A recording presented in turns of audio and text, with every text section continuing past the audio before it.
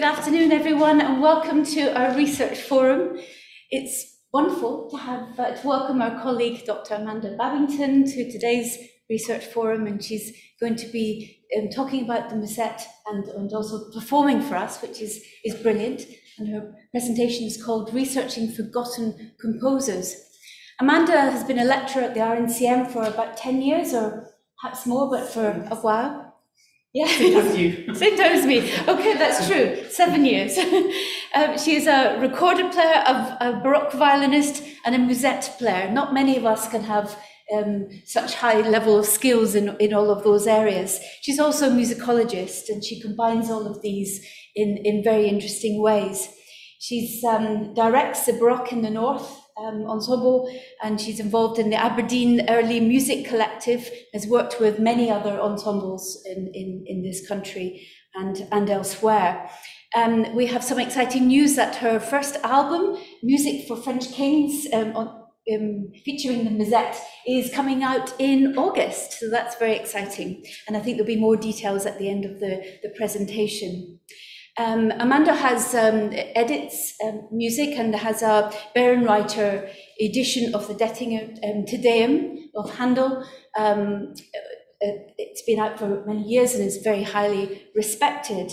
She's a number of peer review articles as well, and performances all over Europe. I believe that you performance the early music show coming up as well. So it, the, that juggling act of, of so many different very complementary skills is a real feature of Amanda's achievements to date. So I look forward to the presentation. I'd like you to welcome Amanda. Thank you. Thank you very much.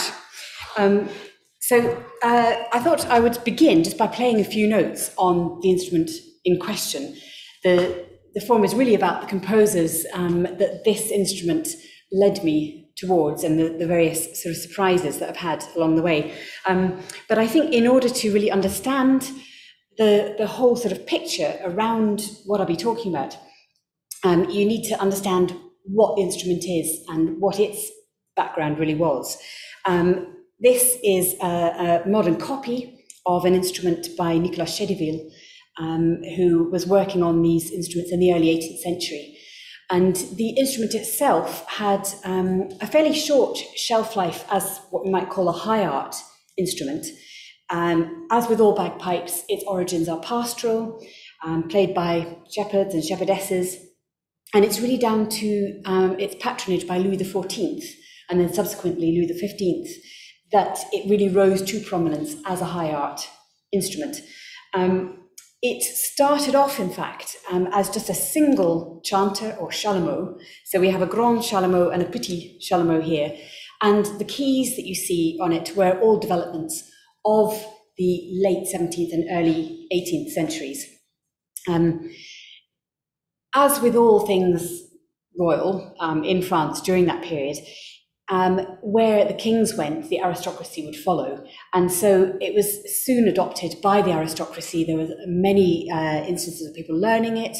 Um, there's a good trade in musicians, um, of which there were two dynasties who played and made and taught the instrument as well as composing for it. So it's a bit of a sort of mini industry. Um, and then there's also a large body of work dedicated to um, musette amateur pieces, pieces that tend to use only the grand chalumeau. Um, it started to fade really in the 1760s as it reached its kind of peak development. Um, but its, its fortune is totally sort of caught up in the fortunes of the French aristocracy.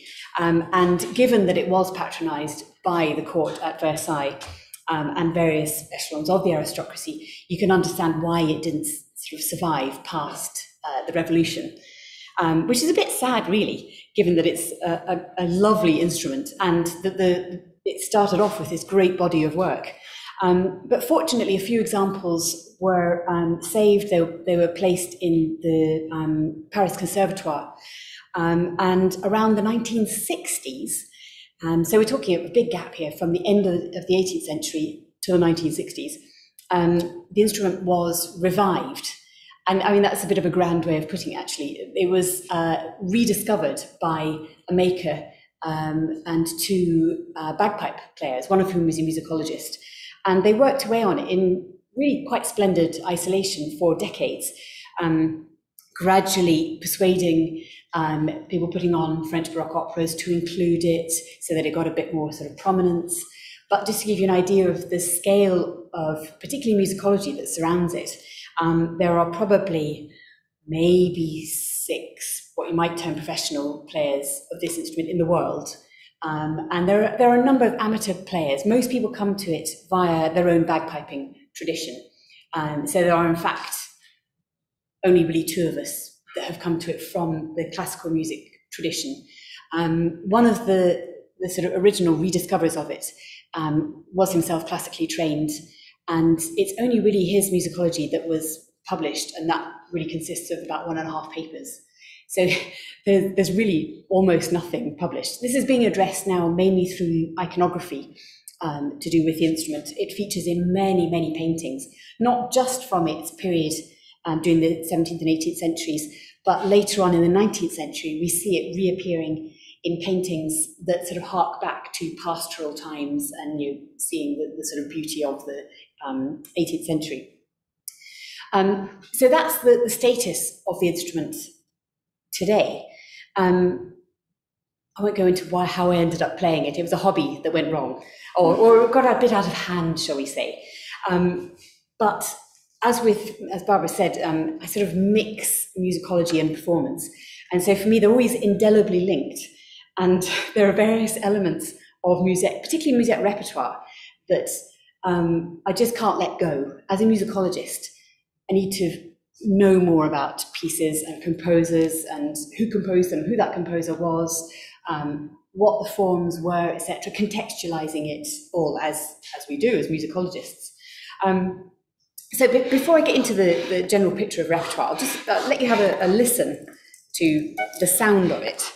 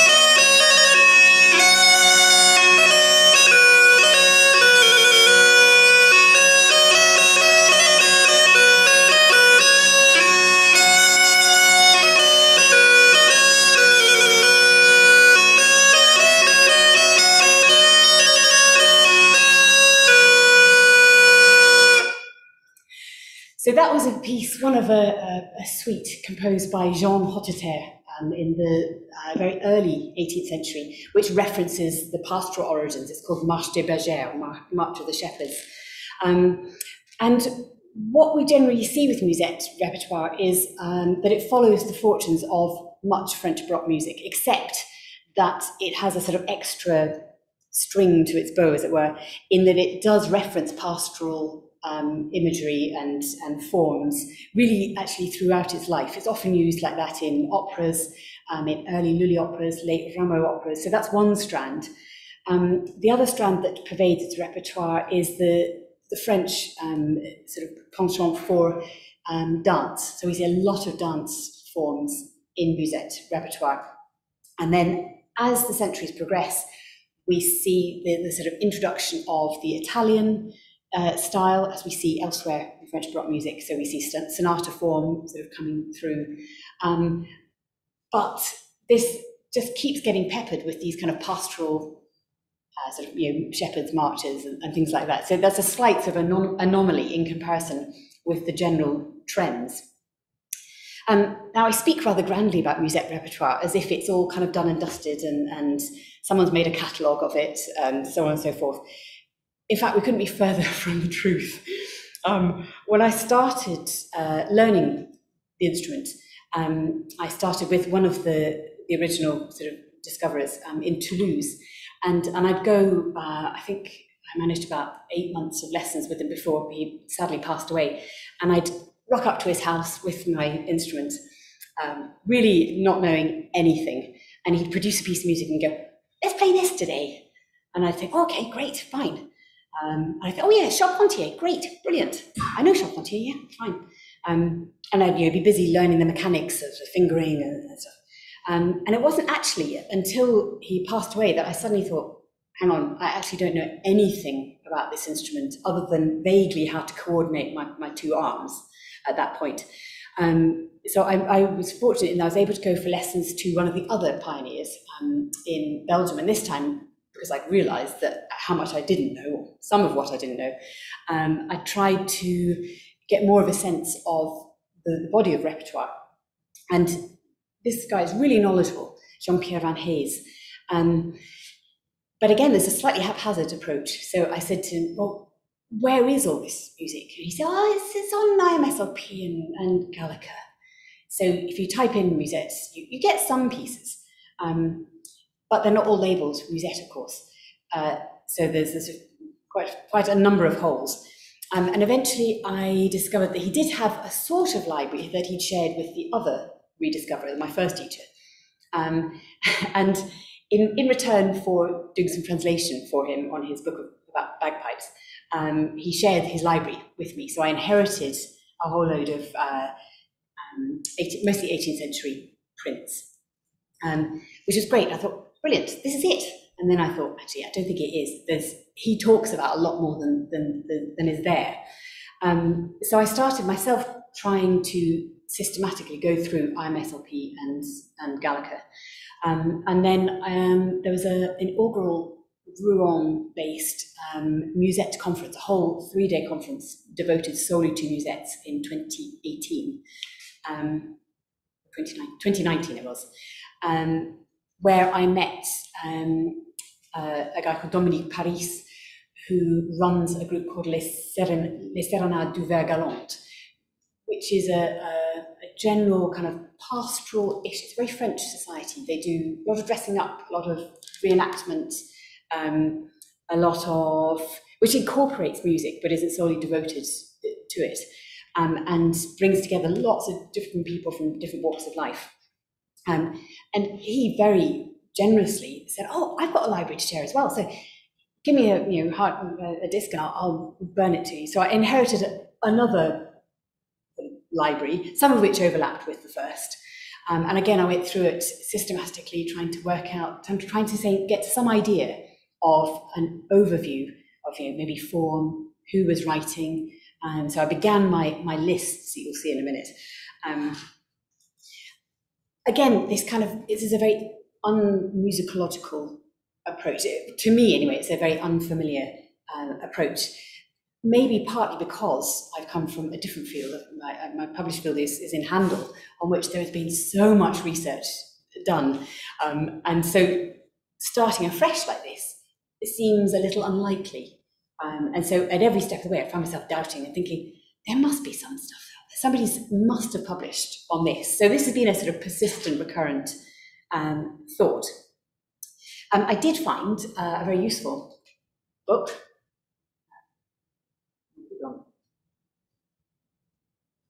Um, this one here, the hurdy-gurdy in 18th century France. Um, yes, it's not musette, but there's a connection between um, the vielle, as it's known in, in France, and the musette, in that many pieces were published for one or other instrument, or for, rather for both. Um, they had a shared pastoral sort of novelty. Um, and their history is a little bit similar in terms of who adopted them. Um, so it's a good place to start. Um, and this has a very useful section in the back of the book where Robert Green, the author, has collated all of the, he's made lists of repertoire essentially for vielle. So if you comb that, you can find the pieces that are also listed for musette. So that was quite a good um, uh, sort of find. Um, and what I noticed when I'd done all this was that there are a number of names that were really unfamiliar to me, and even ones that were actually violin composers like Anne, I'd never come across, um, which made me feel slightly bad actually. Um, so again, that kind of hit a nerve because I thought, hang on, as a, as a Baroque violinist, I, sh I should know more about this stuff. Why don't I know more about French Baroque composers? And actually, there's a quite practical reason for that, which is that in the UK, French Baroque music is not played much. Um, I think I can probably count on the fingers of half a hand, actually, how many times I've, I've done concerts here uh, with French Baroque music. Uh, I know a bit more because I worked for a number of years with a Paris-based ensemble. If I hadn't done that, actually, maybe I would never come to Musette, I'm not sure. But I certainly wouldn't be familiar with a lot of the operatic repertoire, for example. Um, so there is a sort of um, cultural disconnect in a way that's based on the kind of practicalities of my performing life. Um, so that kind of left me at the point where I wanted to see if there were other works by these composers whose names I had managed to, to trace in order to start building up a picture of who composed for the instrument, what they composed, and then maybe why as well. Um, so I thought I'd start with opera. Sorry, the print is very small here in an effort to um, try and get as many names on the slides as is feasibly possible. You don't actually need to, to read the details anyway. It's more or less to give you an impression of um, the number of composers and the number of works that we're talking about here. Um, so we have the two operatic giants, Lully and Rameau, um, famously at loggerheads, of course, um, and they bookend French Baroque opera. And so it's really interesting, actually, that they both use musette, because really anything that Lully did, Rameau didn't. And that was really the, the, the whole sort of premise um, of their, their battle. Um, and in fact, you can probably see a number of works that Rameau dedicated uh, to the musette, starting in 1733 with the Hippolyte et Aricie, and then finishing with Les Paladins in 1760. Um, and Lully's uh, date back to well, they're in some of his ballets actually, um, but then in 1672. So they kind of show actually the, the early days of Musette and its kind of final swan song um, as well. Um, we then, interestingly, have composers who have included it in one opera. So Marais writes for it in Semele, Campra in uh, three, Les Ages, Les Muses, um, and Idomene, again for a very close period there, 1703 to 1718. Um, Mouret, Jean-Joseph Mouret, who I must confess I'd never heard of, um, uh, writes for it in, in Les Amours des Dieux. Um, Monteclair, uh, not too surprising because of his connections um, and his like of novelty as well. Um, Jacques Aubert, again, just a name actually to me, I wasn't familiar with, with any of his works. Um, Boismortier, I'll, I'll say more about him later. Um, in the context of, of his other works, it's not surprising that he did include it in an opera. And then Leclair in Scylla et Glaucus and Combert, who wrote for it in three of his operas. Um, so alongside this, uh, I've been trying to pin down exactly what was written um, and then actually in a sort of modern day sense to contemporize it, actually has the, have these pieces been recorded? How well are they known? um, what's the trend in people adopting the musette, as it were, because actually that then feeds into performance choices um, for me, anyway. Um, so I would say probably, uh, I haven't done an exact calculation, but I would say less than 10% of these uh, operas have been recorded. And there's a big boom in over the, the 90s um, of French opera being recorded by um, uh, Les Arts Florissants and um, uh, the ensemble I used to work for, whose name now escapes me, um, uh, come back to me. Um, and so it's really from that period that we, we have most of the, of the recordings. Since then, the trend has died out slightly, and I've noted with interest that a lot of the time, mostly they're written for two musettes. Uh, a lot of the time, if they are recorded or performed, they'll only use one musette. I think that's partly actually because of the, the, the few number of musettists um, and the fact that anybody employing the musettes, they're practical things. You, know, you want them to, to be familiar with each other, you want them to fit in, the, the usual kind of ensemble interests at play.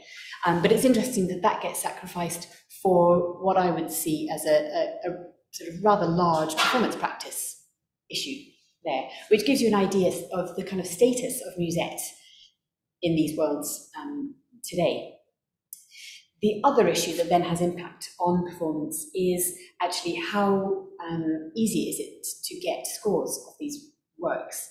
And the answer is not, actually. Um, there are scores of many of them, um, and you can go to the Bibliothèque Nationale and, and, access a lot of them. But actually, there are, um, are often difficulties in, if you're doing it digitally, in getting enough, um, a high enough resolution to be able to trace the tiny lettering that indicates a musette. Because in the, the French orchestral texture, it joins the, the dessus, um, the upper line melody part. Uh, so there'll just often be just a little scrawl that says, know, musette or just muse. Um, so they're quite hard to trace visually. Um, and then often there might even not even be a reference specifically to musettes, but it might say pastoral or bergère. And that's the, the kind of clue there. So there's you have to sort of put the pieces of the jigsaw puzzle together. So I'm still working on a list of exactly what the musettes play in particularly the lesser known ones. Some of these are very well known. Things like um, Les Indes for example, that's very often played um, and quite often with, with musettes. Um, interestingly, actually, the beginning of Les Indes begins on a note that doesn't exist on this musette. And so another implication of that really ties together all the, the whole world of musette is that it was by tracing the, the musette part for Les Indes that led the original rediscoverers to realize that there's not just one type of musette, there are more. Um, and actually, most of them exist in museums across the world. So there's this is the sort of medium one. Um, you can get the piccolo version, which is um, a tone has a, a, a, tone higher, not taken in terms of pitch, but in terms of uh, note.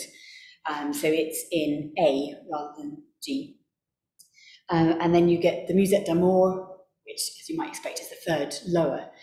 And then the one that's actually used at the beginning of Les Indes Galantes is a Musette Raval, um, of which until or that a month ago, or less than a month ago, there was no working one. There wasn't a whole one in existence. Um, it's just been recreated by um, a maker in Belgium, Bart van Trooijen, who bought a very smashed up bit of ivory that uh, he managed to recreate into. It was a, it had originally been a musette Raval, um, but it was missing bits like the bell at the end. So piecing that together with um, the existing other bits of Musette Raval in, in museums across the world, he's managed to recreate it, which is an, an amazing um, piece of work. So it, it's this that again gives you kind of picture into what this strange world is of, of discovery in, in the world of Musette. Um, okay, so if we move on from opera, we come to three pages of minor composers for Musette. Now, my, my um, sort of starting point with categorizing composers was really, in some ways, plucked out of the air. Um, and it was to do with how they're titled. So, minor composers on my list, anyway, are those who only wrote one or two pieces for Musette, or where Musette is not named as the first instrument.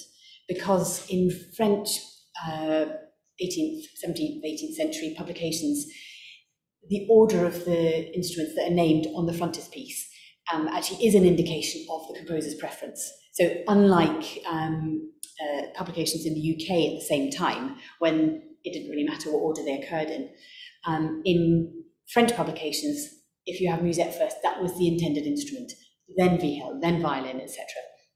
So these are all pieces that were um, either written for musette or where musette's mentioned on the frontispiece, but not as the first uh, instrument.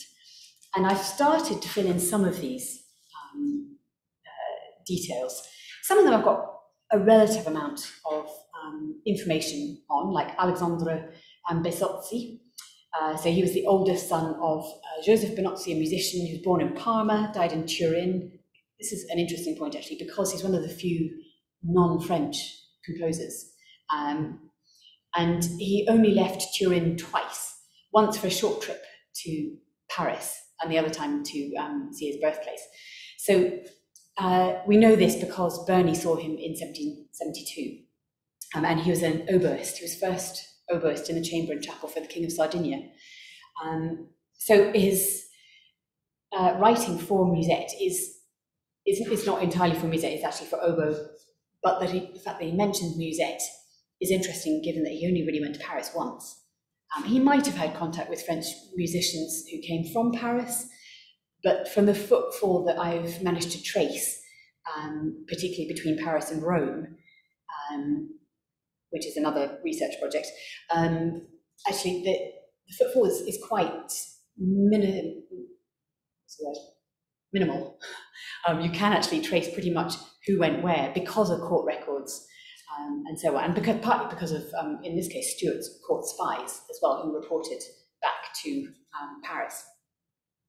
Um, so he's one, and actually the information I found for him was in um, the Biographie universelle des musiciens uh, by Fétis. Um, and this brings me to one of the other points um, about researching this, which is that I find myself using much older scholarship to inform this than I would for Handel uh, research projects, um, where I'm always using the most up-to-date research. Here, this is a, a, bibliography that was published in 1835. For Handel studies, you discount anything that's you know, really 1950 um, as being old. But actually, there are there's a lot of things, a lot of names that don't exist in anything published after that. And yeah, I know that you're thinking, Oxford Music Online. Actually, there's a, there are many names that don't occur in Oxford Music Online, and there's a couple of issues around that as well, which I'll talk about in a minute. Um, so I found myself using um, uh, Fétis and um, also a, uh, a dictionary um, compiled by uh, Benoit, that whose date I have somewhere. Um, oh yeah, Marcel de Benoit, um, that was republished in 1992, which again, I mean, in terms of Handel scholarship, is fairly old. Um, but that's where I found some other details, uh, particularly of these musicians. Um, other names are a bit better known, so Charles Buterne, for example, I know him uh, from Recorder Repertoire, um, the Marquis de Dampierre, names like that feature in uh, non-musical sources. You know, if they're a member of the aristocracy, you see them featured in sort of court circulars and things. Um, Charles Baton, I managed to trace his dates at least, um, unlike some of the others. So Jean-Daniel Braun, for example, um, known as Le Cadet, I haven't managed to find anything about him yet. Uh, so working on that. And the same with Thomas Louis Joseph Bourgeois. Um, and then you get an even sparser page where I really haven't managed to find uh, much at all, um, except about Felice Giardini, again, an Italian. Um, and he was a violinist and composer of French descent, so there's the link there. Um, he was sent to Milan as a cathedral chorister and to study singing, composition, and harpsichord, and then returned to Turin. So there, I suddenly think, hang on, that's Turin mentioned twice. And you under normal circumstances in musicology, you think that's really far fetched. But actually, in this kind of research that I'm doing, actually, that is a, a red flag. That's something to remember, to make note of, and to think, I'll go back and, and, examine Turin and circles and see if I can connect those two and what's their connection to Paris. Um, who do they know? Who might they have studied with, etc. Um, so it's a real kind of jigsaw puzzle, and I've already had some success with that in uh, a, a, separate research project that I'm conducting on um, Charles Edward Stuart, Bonnie Prince Charlie, who owned um, reportedly two musettes, um, and whose playing period would have been when the Stuart court was in Rome, which is why I've been tracing the footfall between Paris and Rome. And actually, there I've, I have managed to join two random bits of information like that and create a little bit of a network. So it is worth doing. Um, some of these names I found by uh, finding articles on relatives. So Claude Deshayes, for example, um, I found his name in an Oxford Music Online entry on Prosper Didier Deshayes. But there are a number of names there that I haven't managed to find out anything about yet. Um, the most annoying one so far of which is Charpentier. Um, and this was one of those pieces that I learned with the first teacher. And I thought, yay, Charpentier, I know that. Um, in fact, it's not Marc Antoine, it's Colin. Um, who in, in amongst my uh, chamber ensembles is, quite well known now. He's referred to as our friend Colin, um, because he's a totally unlikely character. We, I haven't managed to find out, or, uh, there's virtually nothing to find about him, except that he was a virtuoso musettist. Um, he was a friend of Danguet, a, a viol player. Um, they made their debut at Versailles together. They performed in the Concert Spirituel. These are all well-known places. Um, and therefore, it's extremely frustrating that I have yet to find um, out anything about uh, Colin, his life, his dates, his provenance. Um, he only wrote one set of amusement for, for Musette. Um, so it's, that's an ongoing slight frustration. Um, and then there are these names about which I haven't found anything yet. And then here, the tiny writing, um, that's just to give you an idea of, there are more names there about which about whom I haven't even managed to find dates. Uh, there are some, Monteclair, of course, I have his dates, um, Pierre de la Garde, Louis Desrochers, Jean Hotteterre. These um, Hotteterre I managed to trace because of the, the sort of dynastic timeline. So there are plenty articles that mention one of the Hotteterres and you can piece them together. Um, uh, de Lalande, he's relatively well known for choral works. Um, but not for his uh, instrumental works. And so I can find his dates, and I can find a little bit about his provenance, not a huge amount given the number of choral works that he wrote and which are performed. Um, it's, it's, all a bit lopsided.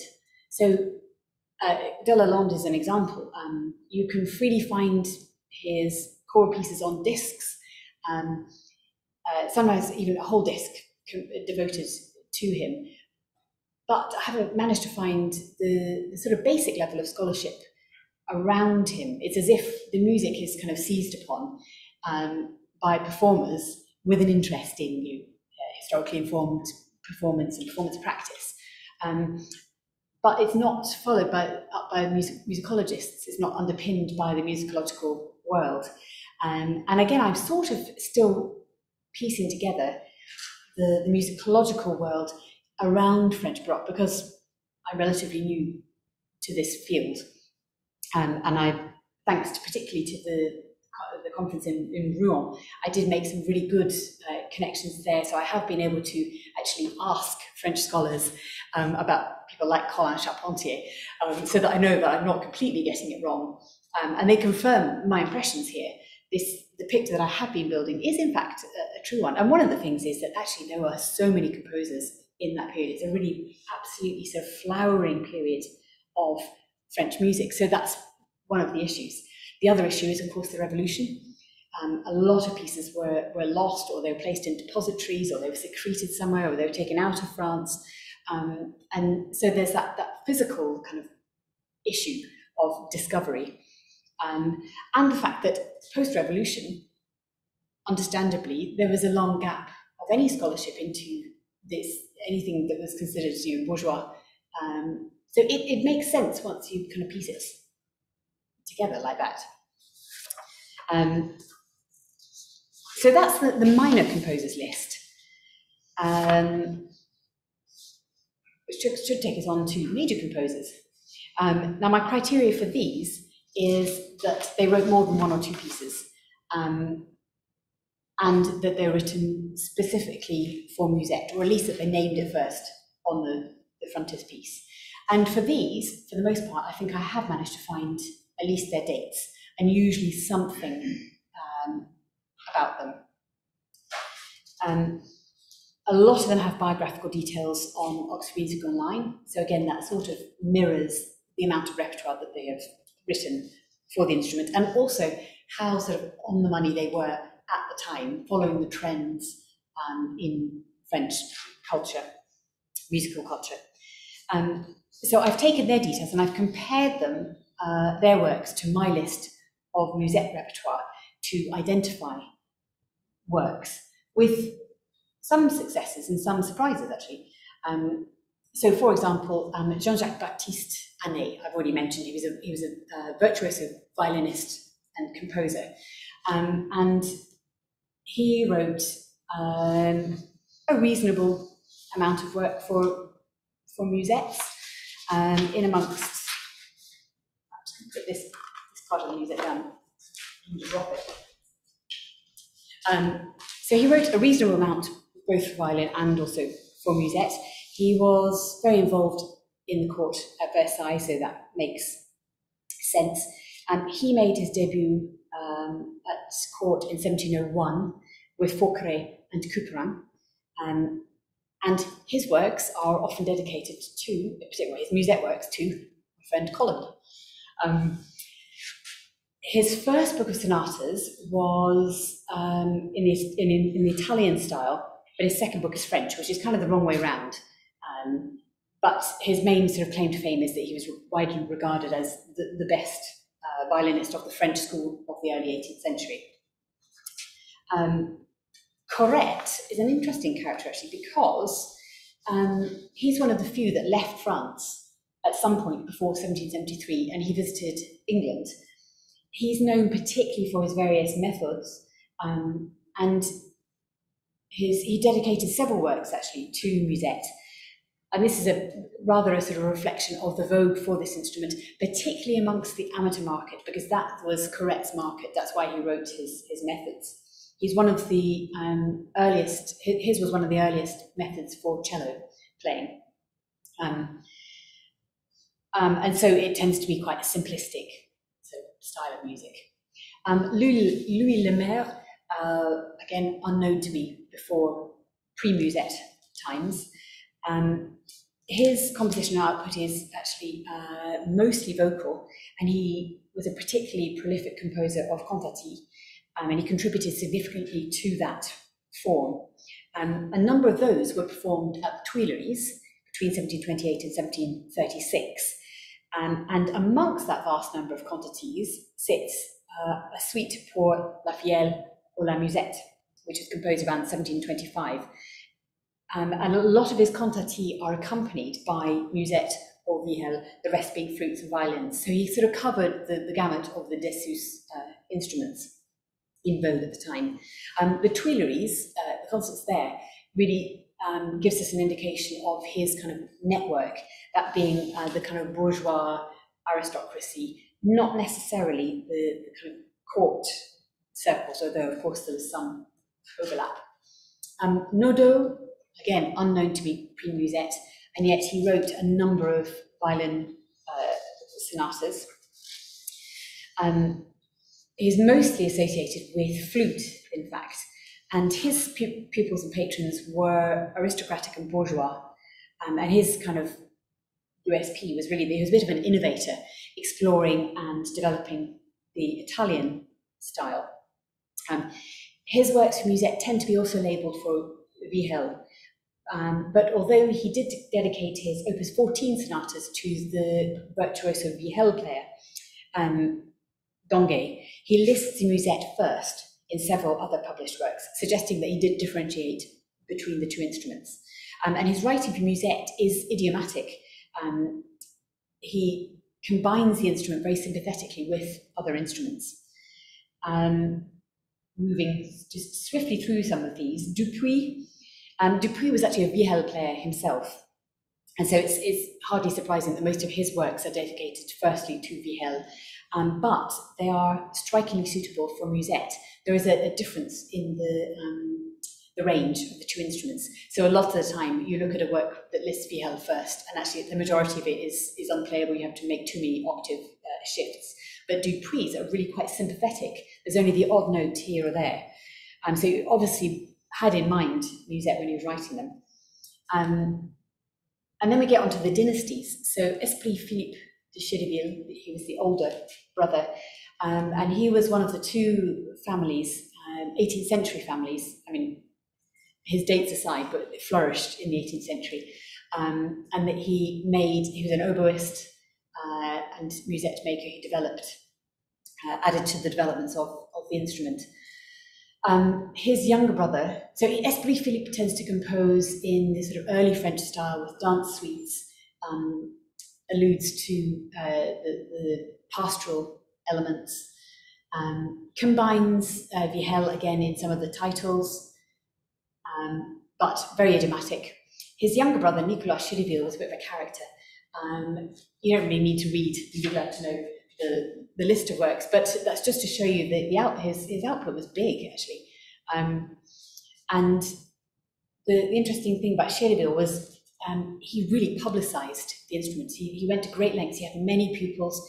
He sort of pushed the boundaries of style. Um, he writes a lot in the Italian style. He was an early adopter of it for the musette. Um, he developed the instrument uh, quite in, in, significant ways, adding various keys, adding to the chromatic range of it.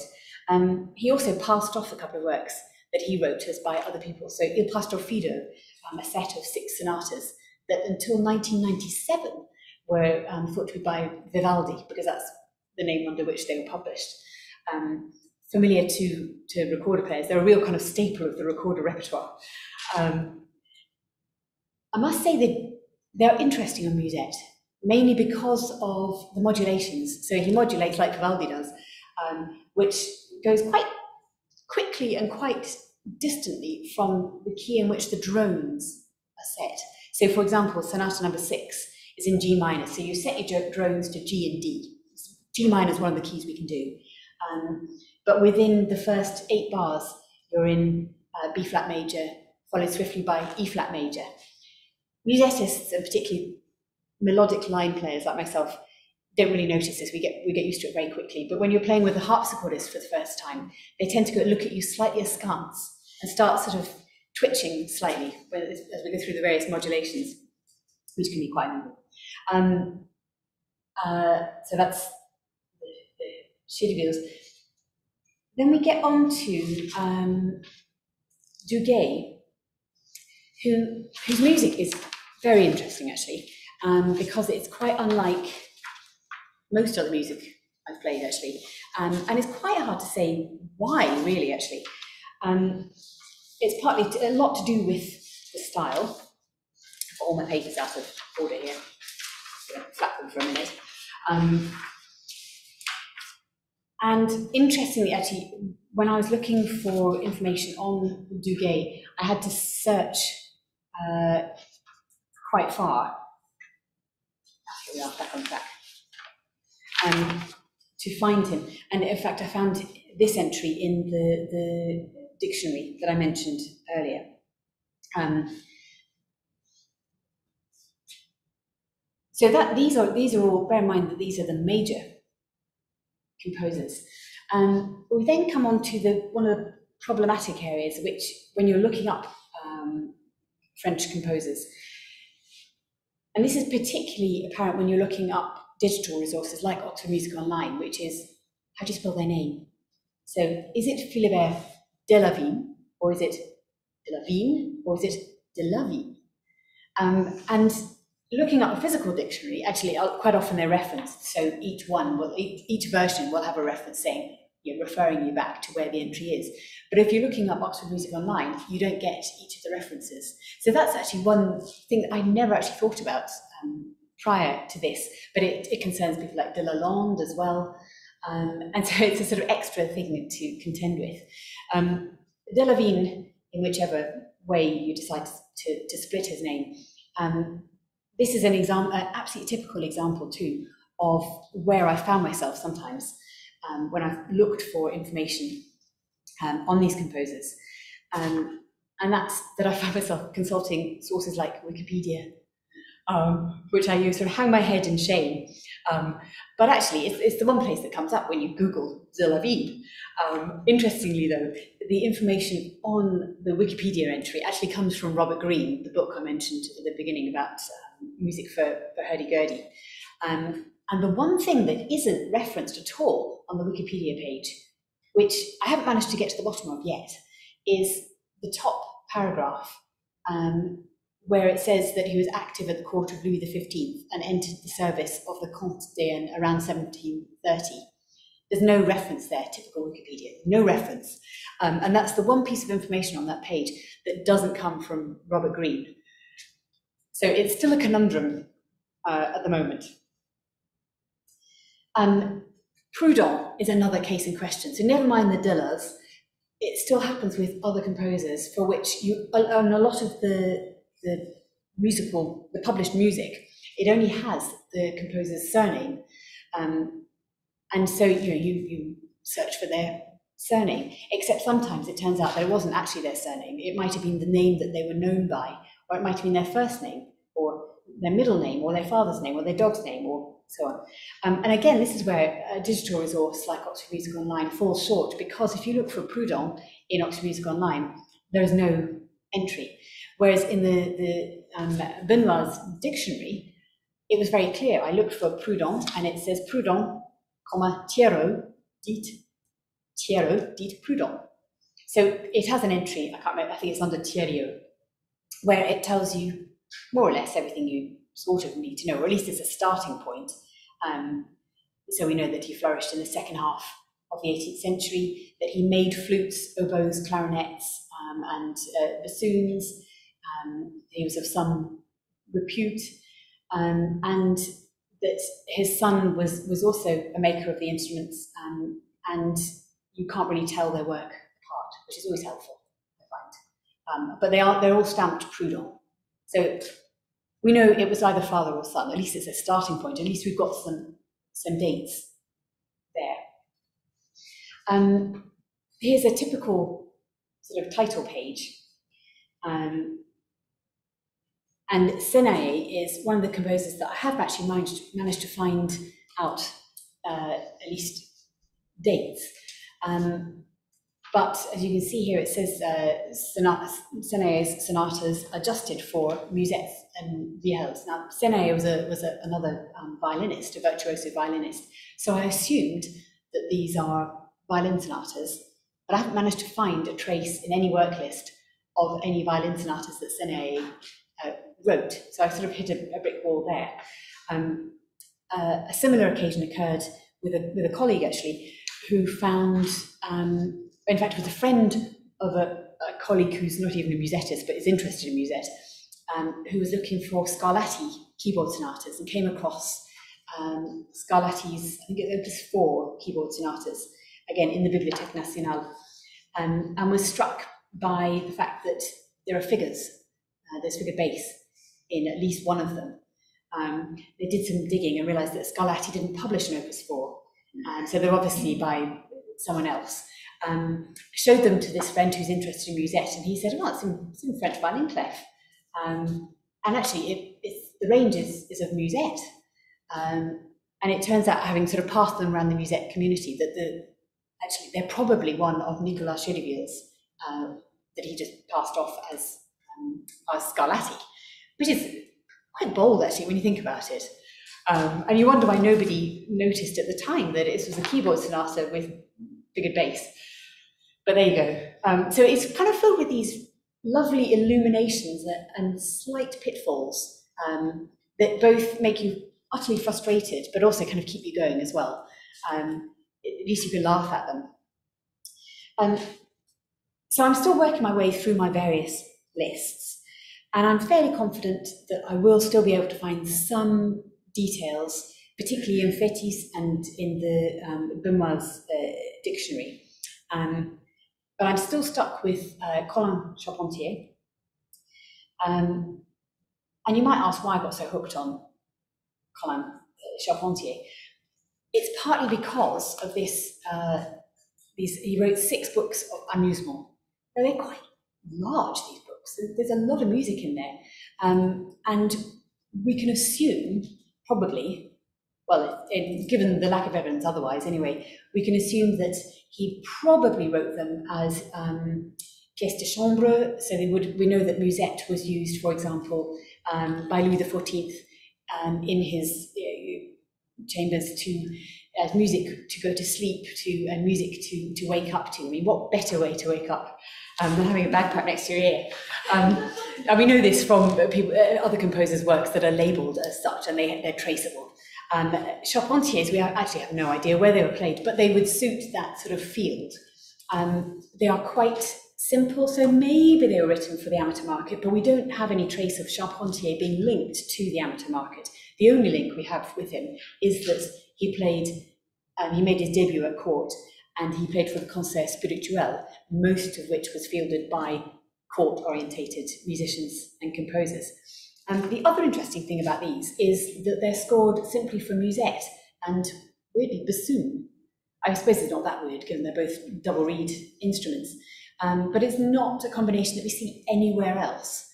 Um, they do also fit very well on cello, which again is quite an unusual instrument for this period. And the usual bowed bass instrument being the, the bass viol, uh, France being a late adopter of the cello. Um, they're not uh, at all suited to the bass viol. Um, and so they sort of stand out in a way as being these books of sort of interesting um, music that whose provenance and, and details elude us, which I find I keep coming back to. Um, I also play them quite a lot in, in uh, performances um, because they, they make lovely sort of opening pieces, a lovely change of, of texture. Um, and in fact, I thought, I'd, having talked for so long, um, I'll give you a little sneak preview of one of the tracks actually from my album. There's a, a small amount of, of one of the, this first book of Amusement, just so you can hear something of what it is about the sound.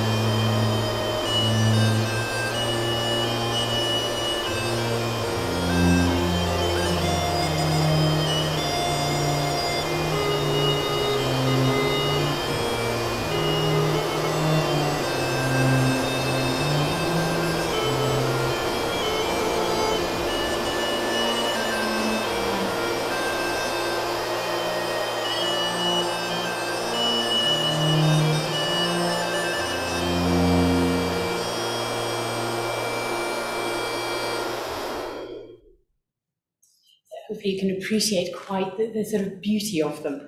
Um, so what I'd hoped to sort of present really neatly was a kind of percentage of composers still unknown, um, and, and piece it all together in a kind of nice you know, Venn diagram or something. Um, once I'd embarked upon this, I realised actually I have so much more work still to do before I can even begin to, to do any of that. Um, and I was thinking, what else, what conclusions have I drawn from this?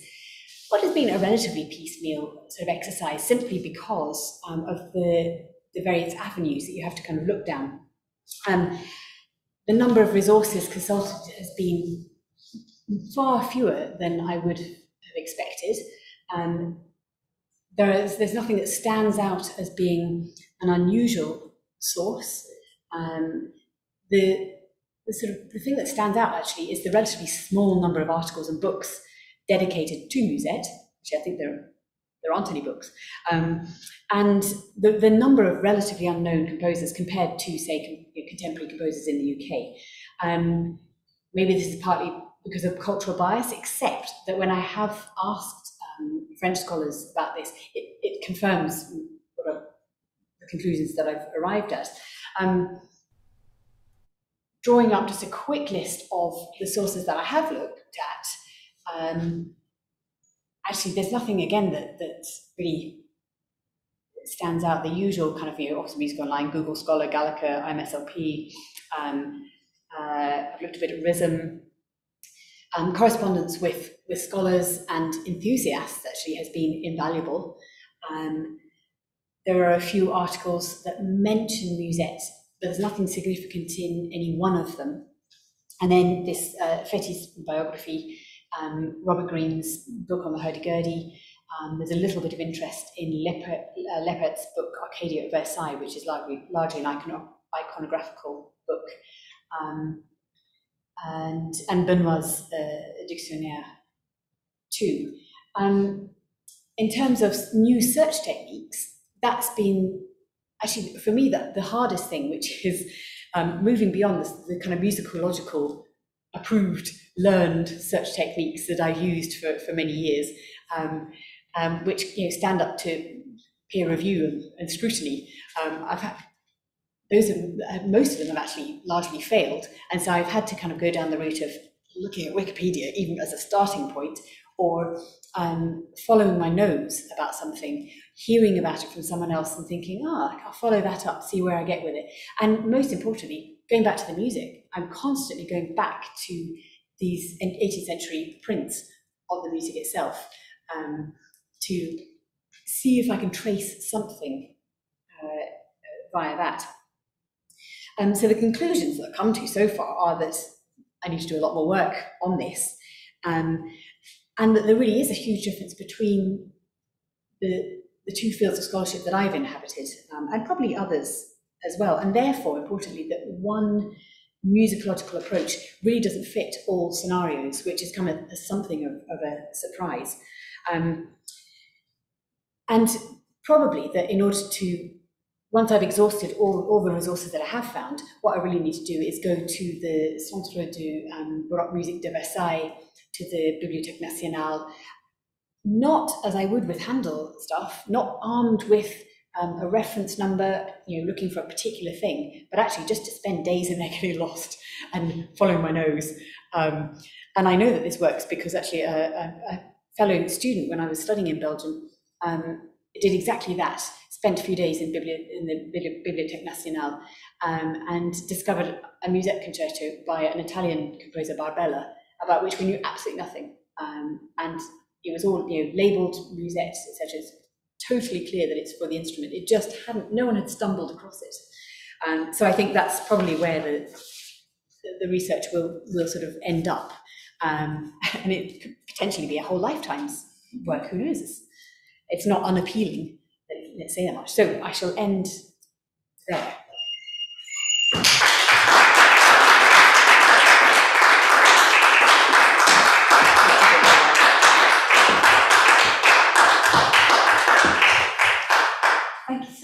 So much, Amanda. It's really fascinating to, to hear, especially moving from Handel to, to study a, a, an instrument and a repertoire that is has the opposite problem, which is mm very useful thing. I wonder whether you might play us something. You've got your instrument with us, and then we can take some questions. Just a thought. Yes, that would be fabulous. Um, Amanda, can I just suggest that you switch on original sound because it's off, and that's why Ah. people are getting hissing it. ah, Okay. fine, okay. Can you get that back? So you go back to the Zoom window. Oh, fine. If I stop sharing. I've got a bit brain. Stop sharing. Is the sound coming from there or? it's when you go up to the top, see Yeah. how it says original sound off the moment? You should be able to the- click on that. um, You can't actually see it on there. Oh, I wonder if it's on Oh, here. it'll be that one then, yeah.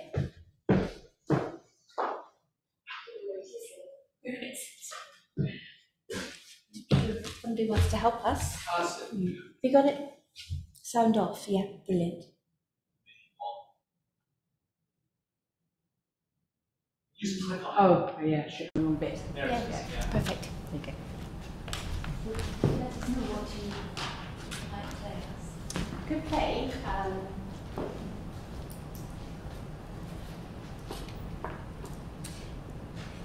This is, uh, so the first method um, or treatise for musette was written by um, Borjon de Scellery. Um, and the second part of that, our pieces for musette, it was, it was published in 1672. Um, and the pieces published in the back of that are pastoral, so they're branlers, um, some songs. We, this is how we know actually that uh, musette players would sometimes sing. Um, it's quite hard to do. I have done that. I'm not going to do it today. Um, uh, but it's yes, it's definitely. We know that it was done because of it's, it's in the back of this treaty. So I'll just play um, a couple of the branlers from the back of this treatise.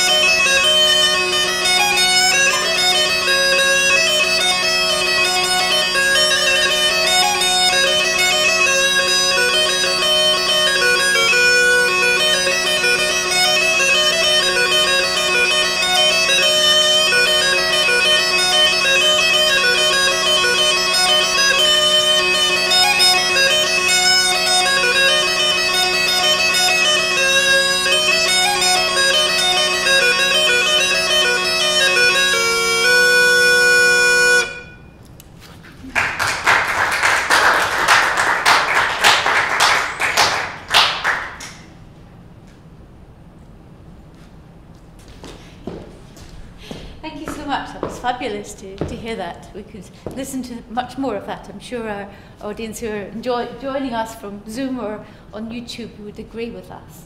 Um, it's really fascinating to hear of an instrument that where people are coming at it from very different directions, from the sort of bagpiping tradition, um, so it has sort of roots in a more, uh, I guess, vernacular, or and then also a courtly, um, sort of higher status instrument too. So Yeah. could you say a little bit more about that? Yeah, absolutely. There's one of the things that's really I found really fascinating actually um, is, as far as I know, it's the only instrument that really has this this crossover. Um, you know, that had it in its original life. Um, we know that it was in its earliest form. It was still played in its earliest form in the field when it was still being, you know, when it was played in a slightly more developed form in the, the courts at, at Versailles. Um, and actually, sort of interestingly, I talked about this at the beginning, there's still this um, sort of crossover. It's a very gentle crossover, actually, um, in the, the sort of modern musette world. But I think it's one of the things that um, that I find interesting and that really feeds my own musicological research is actually observing the different approaches um, of players who come from the world of traditional music. Mm. It's, a, it's a totally different field, totally, totally different approach, totally different sort of attitude towards an old instrument. Mm. Um, they will play you know, a piece of, of um, but they might program it alongside um, I don't know, a folk tune from there that they might play on their on their own pipes. There's, there isn't this complete distinction, which I think is very healthy, especially for the resurgence of an instrument. Um, there aren't. There, there's a couple of um, new pieces being written for it, but it hasn't sort of emerged enough, I think, to engage with that level. But I think it could be a very easy um, sort of path for it to take, which will then, of course, help with the regeneration process as well. Um, but for me, I find it's, it's the attitudes and the, the ways of finding and crucially sharing information as well that really comes into play when, when these two worlds sort of collide. And I've been really, um, I feel very fortunate actually in having access to the, the traditional world. I mean, I've learned a lot about bagpipes. Mm. The bagpipes that I never knew existed. They're absolutely amazing ones. um, so I feel it's actually added to my own kind of musicianship and you know, creative development as well. That's fascinating. It's an instrument that exists in many different forms in so many different mm. um, countries and contexts. Yes. Passport um, to the world. That's what we were always told at school. Passport to the world. Passport to the world. yes. you grew up in Scotland, though. So yes, yeah, yeah. I'm sure our, our, English colleagues might not share that that view. Great. There's lots I, I, I still want to ask, but please, I'd like to open up to the floor. And if you are asking a question up there in the room, please really speak loudly and uh, quite short because it's actually quite hard to pick up. David. Yes, um, Jane, can you hear me if I speak like this? Yes, beautifully, thank you. Thanks. Um, so this might seem like a, a really kind of simple technical question, in which case I apologise. But I noticed, Amanda, thanks very much by the way, that was, that was really brilliant.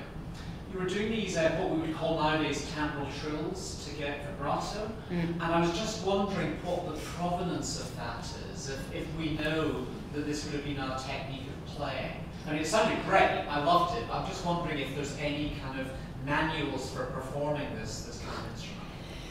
There's the only place that we see any kind of um, mention of technique is um, in uh, Borjon de Scellery's treatise and then the other treatise, which was published by Hotteterre in, oh, I forget the exact date, uh, 1763, I think, around then. Um, and there it's very sporadic.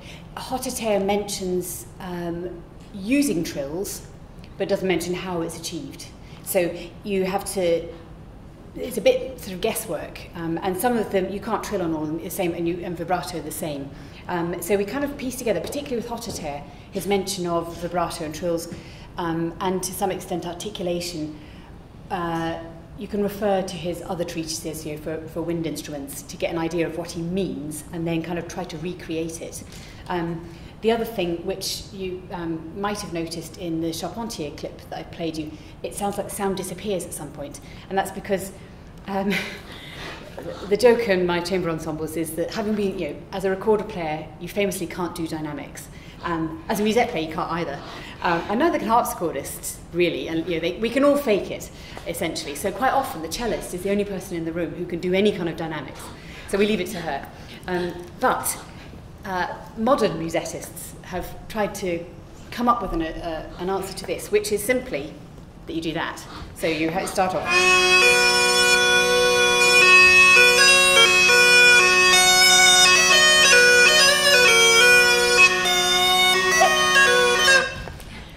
Which is, it works. It's a bit tricky when you're standing up, especially if you've got heels on. Um, yes, yeah, but I, it is possible in performance, as long as you've got kind of you a steady foot, or if you're sitting down, obviously. But yeah, it's interesting how players, I think, just naturally kind of push these boundaries and think, how can I find that sound? Um, and the same with makers as well. There's all sorts of fixes that makers, even in the 18th century, did, because we can tell from historical musettes, you find strange rods inserted or a little conical um, tube to try and change the pitch of an instrument or to um, make the, the range slightly wider. Some of them are more successful than others. Some of them have um, bits chopped out of them uh, as well. So there, there was, I think there's always been quite a lot of trial and error when it comes to both the making and the, and the playing. It's really fascinating. I think this sound wasn't working very well over Zoom, so there was it was oh, a distortion. Shame. Which is unfortunate. Um, I do have a question from Jane because I'm checking the chat here. That's why I brought the, the laptop. But Jenny, you go first and speak really, really loudly, and then we'll come to Jane in a second. It's fine, honestly. Um, can you hear me if I speak like this? Is that all right? I Yeah. can't see anybody screaming. Is that okay? Really interesting, Amanda. Thanks so much. Just um, a quick question and two quick comments. Really, something that struck me was you mentioned the word novelty a couple of times, and I thought it'd be really interesting to unpack that. What the implications of something being a novelty and novelty in what way? Mm. That was very interesting.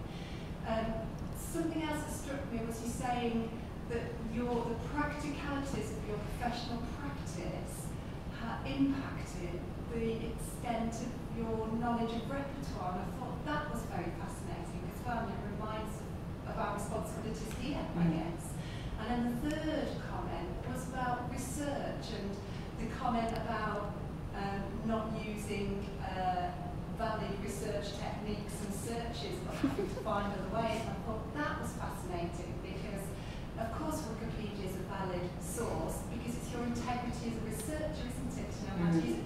So there's some there's three really interesting things there about you know the content, the, your practice, and how you come to this, and, and knowledge and research. And feel free to unpack Mm. any of those or It's one you want funny, yeah.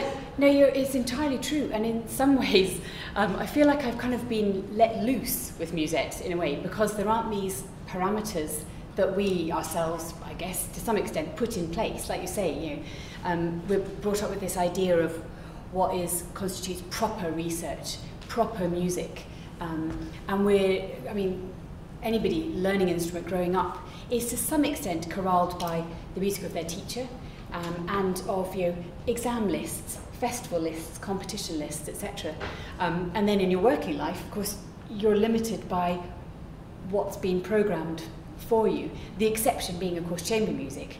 Um, but then other factors come into play, like what sells tickets. And this, of course, is something that I explore on a daily basis with, uh, with my organisation, Baroque in the North, um, is, you know, what concerts can we put on with what funding? How much do we need to make back from ticket sales? And therefore, what can we programme? Which seems the totally the wrong way around, doesn't it? Um, this is where, actually, I have total freedom with Musette, because nobody's ever going to come to a concert that, that features, you know, Musette composers solely on the basis of the composers. So in a way, I can program what I like. It's because they come to see the instrument. So I feel like I've got a lot more freedom around yeah, repertoire choices. And actually that's fed through to my violin repertoire because I thought to myself, I really need to know these composers. I, I need to know what their violin repertoire, I need to know more about the French early 18th century school of playing. So that's kind of opened up my own horizons there. Um, I don't uh, currently teach um, much in the way of you know, sort of private students, but when I'm doing coaching sessions and running the Baroque Orchestra um, at the university across the road, that feeds into that. So we did a whole concert of um, French Noels, um, uh, pre-lockdown. Um, so it definitely has impacted in lots of different areas. I can't remember whether that's covered all your points or not, actually. Um, The novelty. Oh, the novelty, yes. There's, there's something in there, isn't there, about it being a novel instrument that Absolutely. very positive. Yeah, there's um, there are accounts of Louis XIV playing musette in his um, pastoral-themed soirees in um, Versailles, surrounded by sheep, and he used to wear um, he'd, he'd dress up in peasant clothes. Um, they were still silk, but they'd be like a couple of inches shorter. you know. Um, so there, it was definitely a novelty instrument. But what's interesting is that it goes beyond that, sort of past the novelty status and is adopted as a high art kind of serious instrument. So it, yeah, it's, it's really funny from many ways. Great. I, I have a, a question from Jane, who is uh, on the screen. It's really asking about decibels and uh, really with a, an ear to the Scottish bagpipe. where the Royal Conservatoire of Scotland, they were limited to 15 minutes a day. But I think the, the decibels aren't really quite as significant, which No. maybe doesn't come across on, on Zoom. But do you want That's, to? yeah, that's true. Actually, that? it's a it's a very strange concept. Actually, I haven't measured the decibels, um, but certainly one of the reasons that I learned musette was that I regretted not having learned Highland pipes at school, um, and I thought I'll take up bagpipes as a hobby. Um, Post PhD, I've got time for a hobby. Um, uh, and then I thought, I live in a semi-detached house, you know, Manchester, 1930s, brick walls. My neighbour, much as she loves, she, yeah, she says she loves us practicing. There's got to be a line somewhere. So Highland pipes, out of the question. Um, although I suppose there's always Chorlton Water Park, but you know. Um, and then I thought, or maybe Northumbrian pipes, because they're much quieter, and you know, I could, I, we're relatively close to teachers, etc. Um, and then I did a, a French opera, one of the Lully operas with musettes. Um, and I saw this and I thought, "Oh, I could just tie it in with other things that I do. That would be nice. Um, and actually, interestingly, I've asked my, on a, a very sort of local level, I've asked my neighbour actually which of the three instruments she can hear most. And between violin, uh, musette, recorder, and my husband plays piano a lot. Um, and she said actually the one that she can hear most through the walls is recorder. So there must be something about the timbre uh, as well. Fascinating. We, Anna has got a question. So Anna, do you want to, to ask it? Uh, thank you. Yes, um, that was really interesting, uh, Amanda. I want to know if you used RISM to source um, material because you didn't mention it. You may well have used it, um, but I just had a quick look, and there are quite a lot of entries on there. Yes, so I've started to use RISM, um, but I haven't uh, done it extensively yet. It's sort of on my my next next bit of hit list. Um, the the sources that I have found on there um, repeat the ones that I've already found, that I've already got. Um, but that's not to say I haven't, I haven't done an exhaustive um, look at search through it yet. But I think I, my feeling is that there's more on offer there. So I'm fairly sure that I'll find something of interest there. Yeah. I've also noticed that Jane mentioned pitch. Um, pitch is the bane of uh, everyone's existence in, in the historically informed performance world. Um, this instrument's at 415, which is great because that's the very standardized pitch that most Baroque ensembles play at um, now, particularly chamber music in this country. Um, but in fact, if I'm uh, playing in France, this music will be played at 392, which meant, of course, I had to commission another instrument um, to play at 392 um, uh, of this size.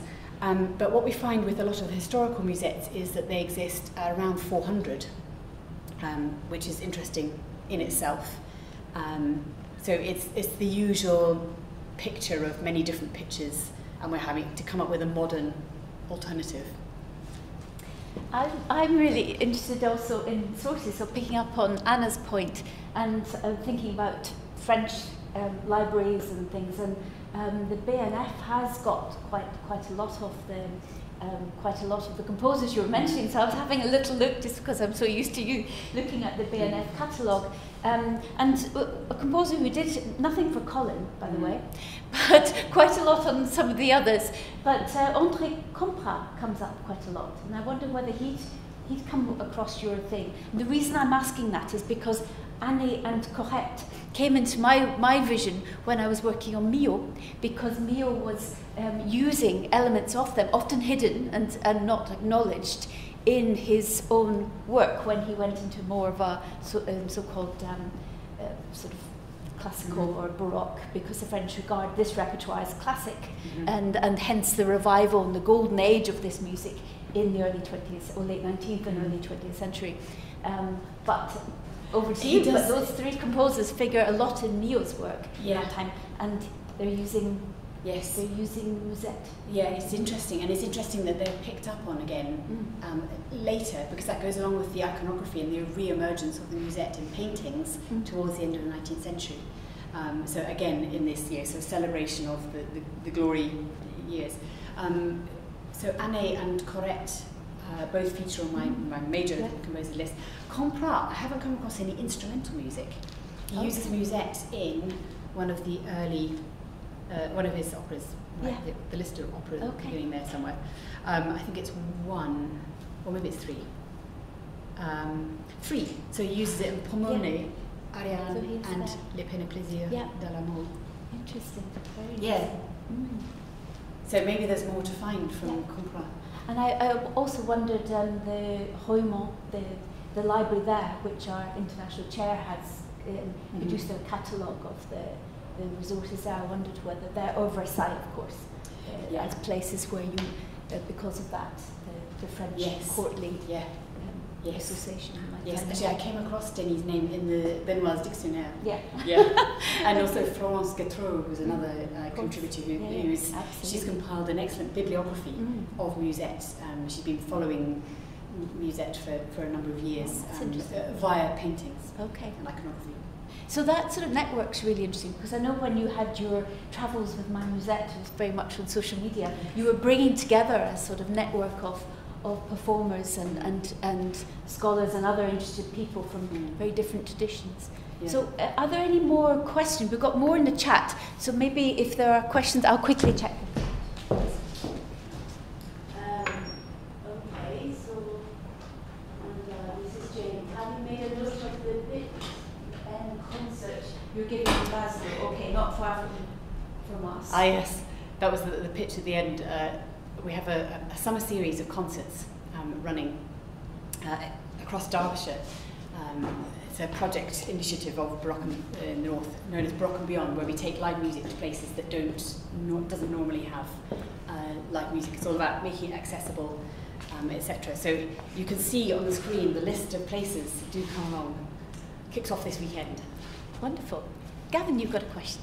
Hi, thanks Amanda. It's, uh, I could listen to that instrument all day. That's why it was uh, a favourite instrument. Um, I'm just wondering if you could outline any uh, sort of developments across that hundred years of, of scores that we have, of how the instrument developed, or was used, how it was uh, developed in its usage in the kind of music playing. Um, and isn't it a real shame that it sort of stopped with the French Revolution? I think with that, um, that Charpentier piece, mean, it sounded a bit like me. It's just really interesting to sort of see how, you know, maybe to imagine how it might have developed. Mm.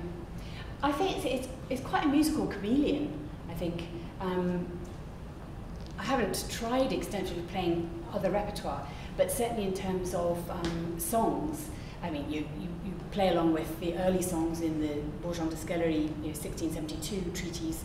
Um, French traditional song doesn't really change. It's still the traditional song. And so when you hear it later in the chanson, actually it's not that far removed from how you hear it in the 17th century, so where it is accompanied by musette. So I think there is this thread of traditional music that really sort of carries through.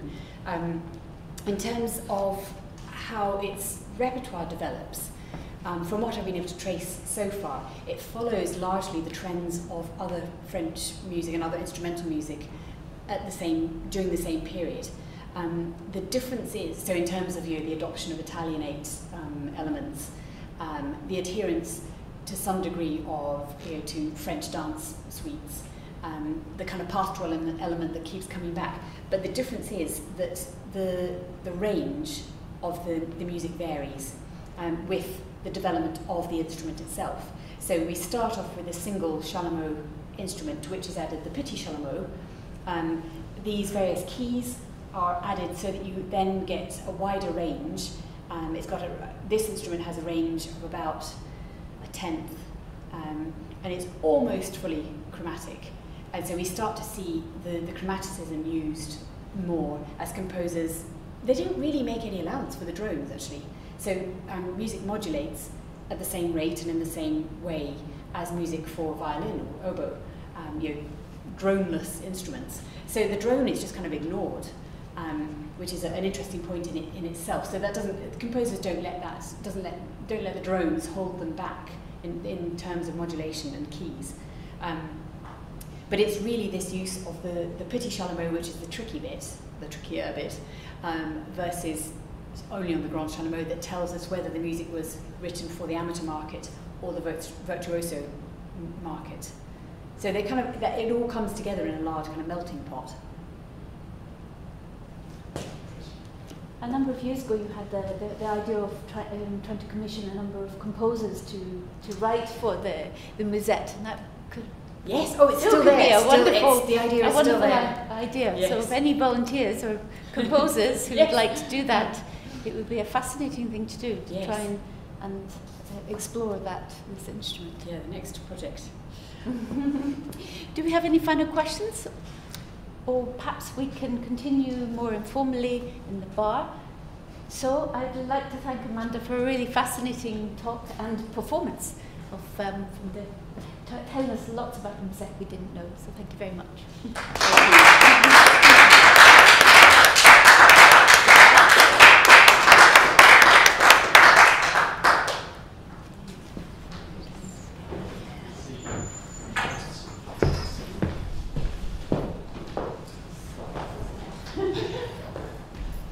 Thanks so much, Barbara. I've just sent you an email, so cold hand as well. I have to off to Yes, I, Chinese I I have to do childcare swap because it's Halle night. It was lovely. As I said my email, there's quite, as you probably know, there's quite a lot of period instrument groups interested in combining kind of period repertoire with new work. Yeah, and it's like the next avenue that I really want to explore. Now that I've got a better handle on what it can do and Yeah. the sort of repertoire that's there, that's how that's the direction I'd really like to take it actually. Um, so yes, thank you. Translate was you was she she. Thank you. I think we're out. Yes. Oh no. Um, if you. I'm trying. Oh yeah. This would be close. Yeah. My, I'm out. Yeah. So close this. Um, normally you just exit. What happens if you press escape? I mean, normally you just do what you're doing.